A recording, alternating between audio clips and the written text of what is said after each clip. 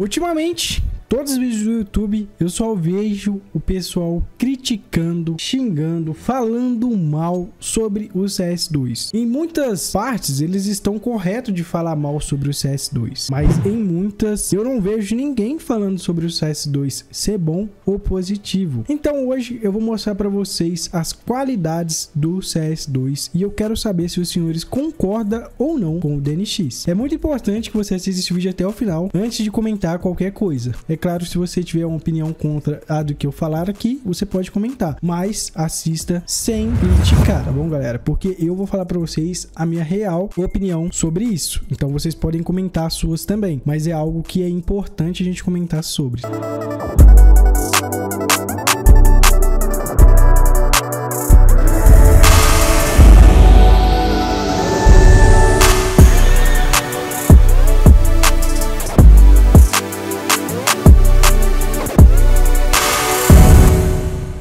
Bom, vamos lá então. O primeiro assunto que não pode faltar é a nossa qualidade gráfica. O jogo não perde para outro FPS atualmente em questão de gráfico. O jogo está extremamente bonito, bem trabalhado. Isso a gente não pode negar. Muitas pessoas falam do CS2, falam que ele tá lagando, etc. Mas basicamente, você já percebeu a qualidade gráfica desse jogo? Como que ele está sendo desenvolvido e como que ele já se desenvolveu? O jogo está totalmente diferente com uma promessa totalmente diferente. Para quem não sabe, o CS2 foi relançado. O jogo é 0, 0, 0, 0. Então, tipo assim, como no CSGO tiveram muitos bugs, muitos erros, imagina num jogo de tal proporção, tal qualidade. O jogo está extremamente qualidade, as skins estão extremamente bonitas, brilhos e etc. Então, tipo assim, galera, a gente tem que saber reconhecer essa área também. Muita gente não reconhece isso. Eu já percebi isso pelos comentários aqui do canal. Muita gente criticando o jogo, jogo, que não sei o que, que tá pesado, que o jogo tá feio, o jogo do CSGO era mais bonito, que etc. Mas a gente tem que ser mais realista, guys. Porque, tipo, o jogo está bonito, de fato.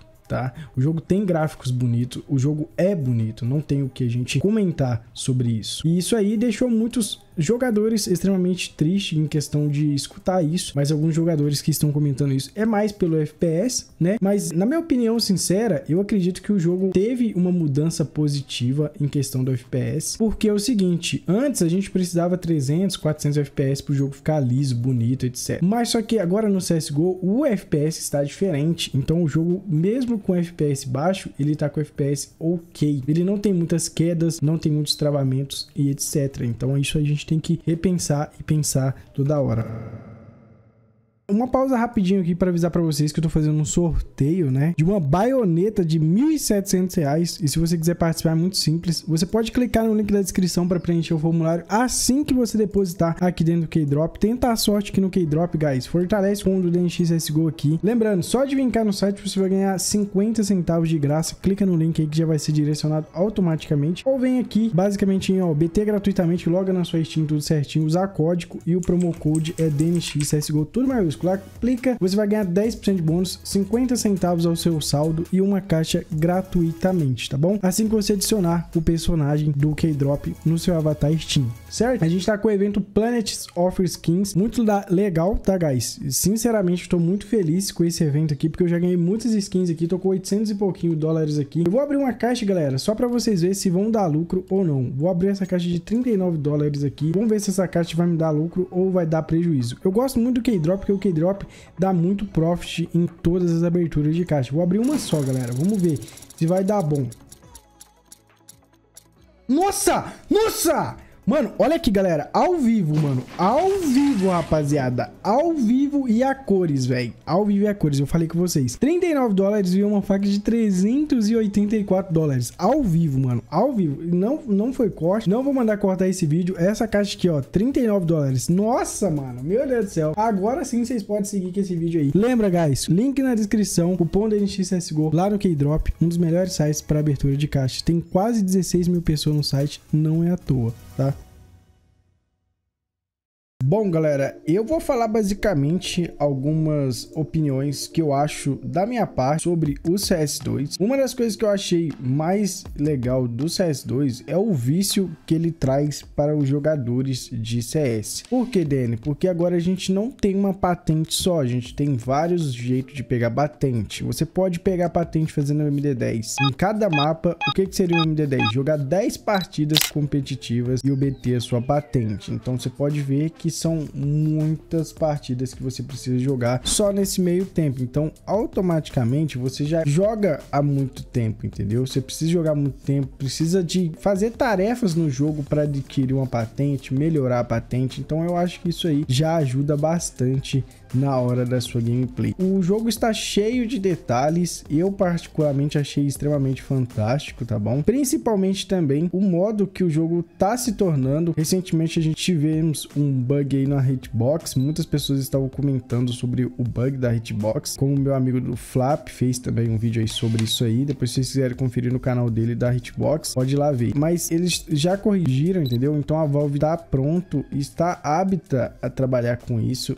é, desenvolver uma melhoria, né? Trabalhar para tirar os bugs, consertar os defeitos que há no CS2. Muita gente só vem a criticar o game. O game é um jogo novo, guys. Então a gente tem que entender que mesmo que é um jogo novo, tá em beta. Então a gente precisa ter paciência, calma, entender como é que funciona os sistemas, tá? O que me impressiona muito é a realidade das granadas, smokes, que tipo, isso diferencia de todos os outros jogos, principalmente principalmente a água. A água não preciso nem falar, né? Principalmente mapa Anubis. Ou oh, chega a ser fantástico a água que tem neste mapa, tá? Quando você tá com a granada, por exemplo, também, a física disso aí está fantástica. Por isso que eu falo que a grande chance de deixar muitos FPS aí para trás ou nas costas é extremamente grande. Mas é algo que, tipo, não é muito difícil de você entender. Muitas pessoas acham que o CSGO ou o CS2 está copiando a Riot, né? Acho que é isso mesmo o nome. Por conta que muitas coisas que a Valve, a Valve não, a Riot foi lançando dentro do Valorant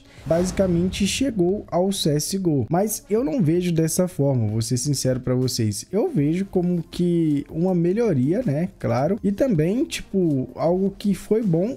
E também a gente não sabe se já estava sendo produzido, a gente não sabe quem copiou quem, se foi. Talvez o CSGO já tinha até feito já esses negócios. Ou não, não tô defendendo o CS, não, porque eu não sei como é que funciona esse sistema. Eu só sei que se for um sistema para ser melhor, isso que importa, né? A treta já é das duas desenvolvedoras aí, mas eu sei que eu gostei muito do estilo que está o CSGO.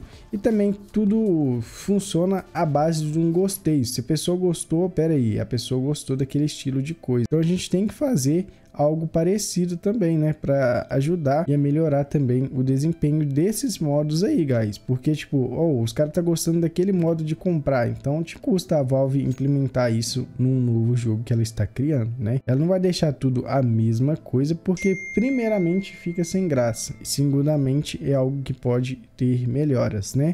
Música